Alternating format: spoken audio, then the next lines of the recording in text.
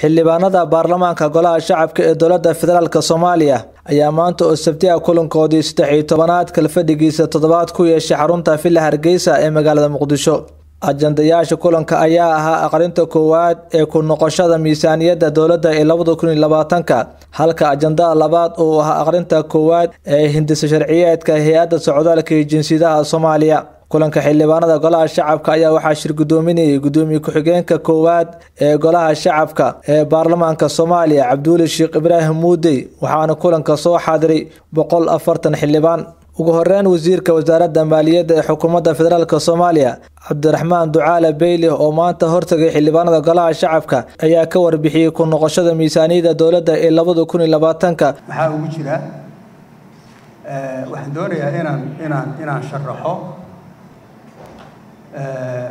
dad fara badan oo ay saamaysay corona corona nineteen ayaa ayaa jira oo businesskoodii ama ka yaraadeen ama xidhayba meelahoodii xidhay meelay wax ka soo ka soo gelayeen xidhmeen arrintaa iyadaa dowladdu tallaabooyin bay ka qaadatay.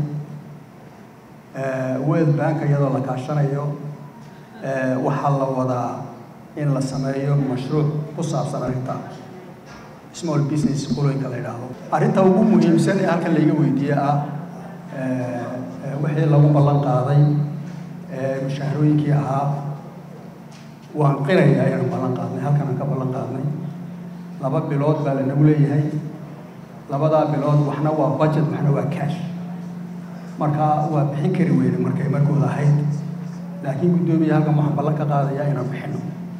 Waana bixinaynaa waxaan bixinaynaa bishan aakhirkeeda mid baanu bixin augustna mid baanu bixin haddii ilaha idhaahdo.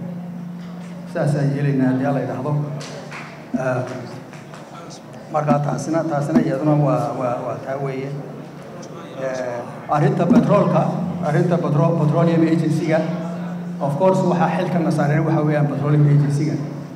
Waa waxa weeye waa hay'ad aada iyo aada iyo aada qaali noogu ah in fact saaka laga keenay proposalkii zakariya zakariya saaka proposalkii la keenaan iyo wasiirku waa wada hadalay waan eegeynaa bal hadda in wax loogu daro iyo kalaan eegeynaa iyo magaraysa wixii lagu dari karo wixii lagu dari karo.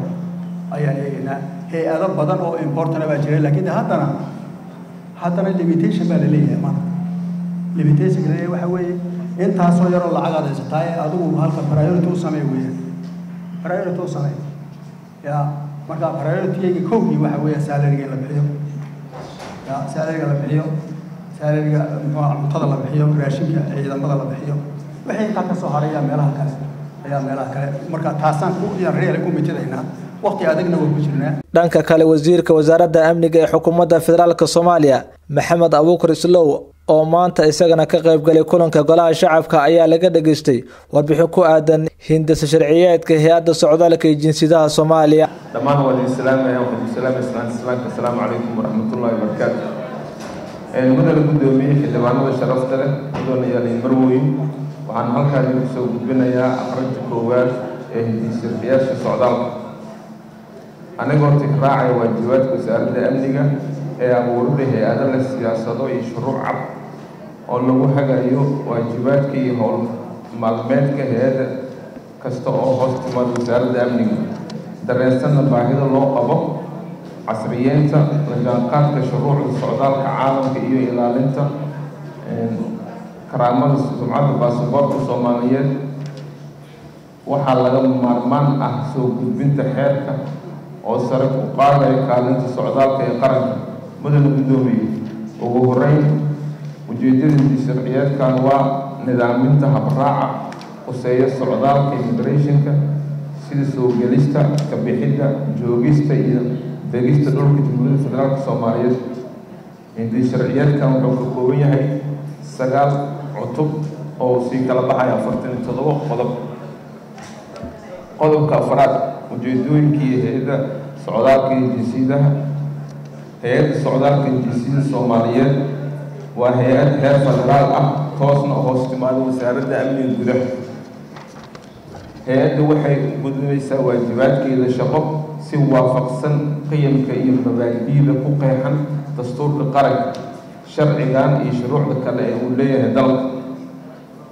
Howlaha hay'adda socdaalka iyo jinsiyadaha si gaarka ee u leedaha waxaa ka mid ah a hay'addu waxay mas'uul ka tahay maamulka xuduudaha ee la xiriira dhammaan dadka soo gelaya ama ka baxaya dalka ba inay bixiso dalku joog kumeel gaar ah iyo mid rasmi ah. La siinaya ajaaniibta ama shisheeyaha imaanaya jamhuuriyadda federaalka soomaaliyeed. Qaar ka mid a xildhibaanada golaha shacabka ayaa su'aalo weydiiyey wasiiradii kulanka ka soo qayb galay wasiirku wuxuu noo sheegay in maaliyaddii la rabo in isbeddel lagu sameeyo. Wasiir waxaan ku weydiinayaa maadaama la rabo in lagu sameeyo isbeddel oo aad tiri dakhligeenna awal wuxuu ahaa boqol iyo toddobaatan lix oo midka gudaha ah. Haddana ay keentay isbeddelkaas mashaariic badan oo laoo la helay. Okay waxaan ognahay coronavirus inuu jiray.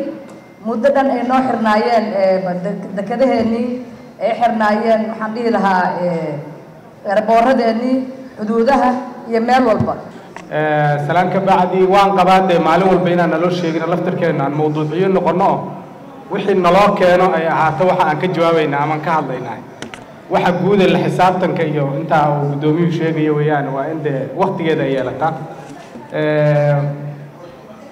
Waxaan commentier ka qabay horta xildhibaan maryan haarun aada uga hadashay arrinta rabay inaan ka hadlo laakiin waxaan rabay inaan siiqo u bedelo su'aasha bes yacni waxa weeyaan basaboorka diblomaatiga halkan lagu soo sheegay qodobka soddon iyo saddexaad farqadiisa waxaan u malaynayaa waxa weeyaan farqada ja. Waxaa la yidhi baasaboorka marka laga hadlayo meesha lama faahfaahin. Noocyada baasaboorka marka laga hadlayo waxaa ka mid ah la yidhi baasaboorka diblomaatiga ah bes si kastaba ahaatee xildhibaanada golaha shacabka ayaa maalmihii la soo dhaafay yeelanayay kulamo isdaba joog ah oo ay ku ansixinayeen sharciyo dhowr ah oo ka mid yahay matalaada gobolka banaadir ee aqalka sare looga siiyey saddex iyo toban xubnood maxamed axmed mursal seven news muqdisho